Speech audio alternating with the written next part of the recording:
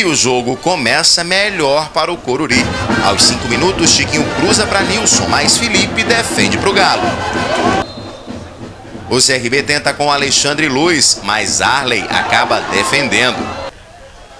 Aos 15 minutos, em um contra-ataque rápido do Coruripe, Ivan acaba sendo derrubado por Tony, dentro da área.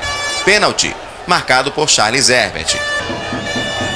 Nilson cobra com direito à paradinha e silencia Pajussara. 1 a 0 Coruripe. O CRB tenta reagir com Edmar. Ele arma boa jogada, mas Rodrigo Batata desperdiça. O forte calor interrompe o jogo por alguns minutos. A água milagrosa quase ajuda Edmar a empatar. Aos 29, o jogo fica ainda mais quente. O técnico Elenilson Santos reclama da arbitragem e acaba expulso pelo árbitro Charles Ebert. Revolta em campo. O CRB se aproveita do nervosismo do adversário. Foiane faz cruzamento perfeito para Edmar, mas Arley acaba defendendo. O Galo segue pressionando em busca do empate. Neste lance, Alexandre Luiz por pouco não consegue.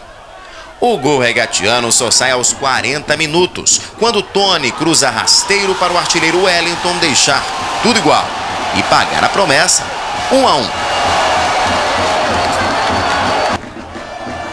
Antes do fim do primeiro tempo, o Coruripe tem esta chance com Nilson. Os jogadores do Hulk reclamam de pênalti, não dado pelo árbitro. Logo no início do segundo tempo, o CRB tem uma ótima chance de virar, mas a bola de Rafinha acaba sendo tirada por Arley. O jogo passa a ficar nas mãos dos goleiros. De um lado, Felipe. Do outro, Arley. O técnico Paulo Roberto muda e acaba sendo vaiado por tirar o experiente Foiane. O Coruripe por pouco não vira com Edson Di. Ele chega a encobrir Felipe, mas a bola acaba se perdendo na linha de fundo. As coisas ficam complicadas para o Hulk aos 35 minutos, quando Anderson Labamba faz falta sem bola em Rodrigo e é expulso. Com um homem a mais, o CRB ganha fôlego e chega à virada. Aos 45, Wilton Mineiro cobra falta, Edmar desvia e o artilheiro Wellington volta a brilhar. 2 a 1 CRB, décimo gol de Wellington no campeonato. A torcida vai loucura.